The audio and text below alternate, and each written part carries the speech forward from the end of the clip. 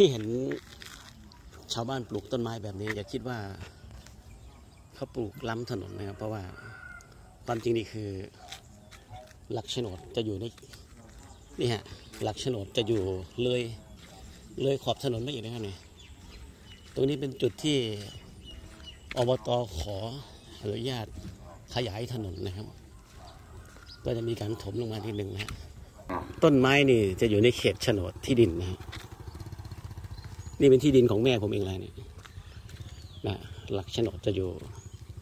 นี่เลย แต่ว่าหลังๆเราก็ขยับเข้าไปให้ขยับเข้าไปให้เพราะว่าเพื่อการพัฒนาเพื่ออะไรนะครับนี่ครับเหมือนอย่างที่บอกนะครับ เนี่ยหลักโฉนดก็จะอยู่ติดถนนเลยนะครับ ของผมก็เหมือนกันครับนี่ที่ดินผมนะครับลูกเนี่ยก็จะติดโฉนดเออติดถนนเหมือนกันฮะโฉนด เนี่ยต้นตะเคราะห์เนี่ยของผมนะฮะ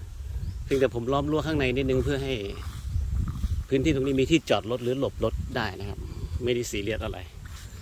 เพราะยังไงกรรมสิทธิ์ก็เป็นของเราครับ เอาหนูเปิดเหรอต้องเปิดเลยเหรอใครเปิดไม่รู้ครับเออเป็นใครครับครับน่าจะมีคนมาตัดหญ้าค